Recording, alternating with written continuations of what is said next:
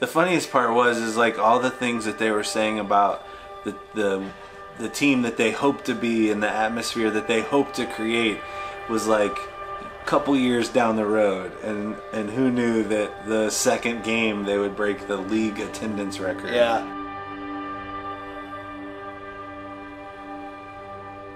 That was their ultimate goal, and they were like, "Yeah, if we just get five thousand a game for like five years, and maybe we'd have a shot at an expansion team in 2024 or whatever." they weren't even prepared for the kind of success that they had.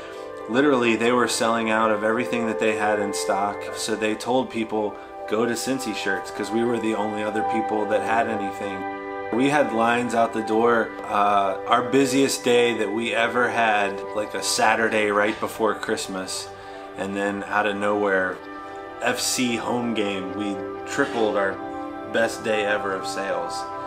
the players almost felt like we were celebrities. I, I uh, all those guys would uh, just show up and think it was so cool that they, they had their own T-shirts. Yeah, I think the coolest thing for us was when we saw one of our shirts end up as a sign in someone's luxury box. Man, this is like we made it. or, or the Fiona Tifo. That was pretty sweet. The the giant uh, Fiona flag flying in the Bailey.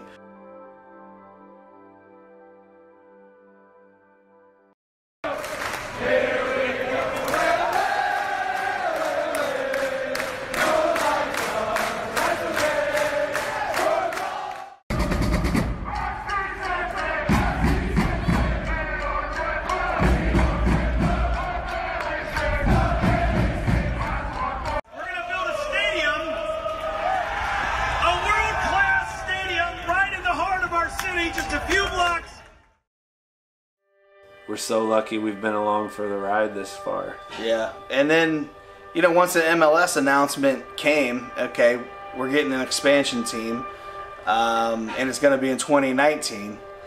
Then all of a sudden, you know the the doubt sets in. It's like, well, you know, the people you know on staff at FC Cincinnati, uh, you know, and us too, because our our USL FC Cincinnati license would be expired.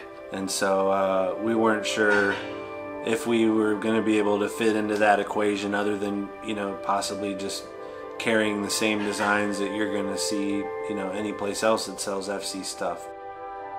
We wanted to just take a minute and say thank you to uh, FC Cincinnati and to all of you, our loyal customers, for letting us be a part of this journey.